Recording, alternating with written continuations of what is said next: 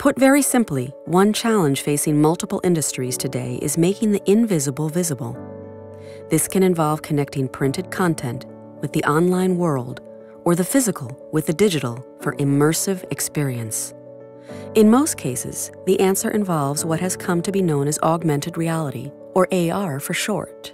As augmented print, AR has consumers using a smartphone to access product related content, download apps, or participate in promotional activities. This provides businesses with new ways of tracking consumer behavior and interacting with customers.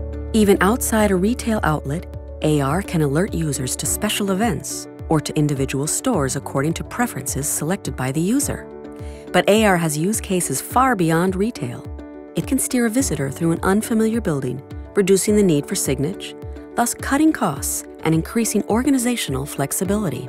AR can also provide supplementary information about devices on display, creating more freedom for exhibit designers. In conjunction with facial recognition, AR can identify strangers and facilitate networking with organizations. Konica Minolta offer mobile applications for augmented reality, as well as content management and content creation.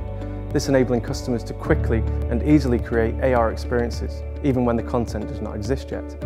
In terms of marketing, this turns augmented reality into augmented opportunity, opening new dimensions for customers regardless of their size. For almost 150 years, Konica Minolta has been a leader and a pioneer in imaging technologies.